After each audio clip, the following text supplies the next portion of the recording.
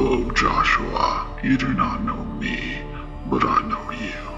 I want to play a game. For years, you have been claiming to be a humble gentleman when reality, you're nothing but a thief, a liar, a deceiver, manipulator. All you do is cause nothing but pain to all those surrounding you, while at the same time not knowing how the people you affected feels.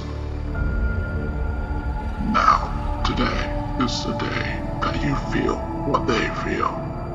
Feel what I feel. Suffering.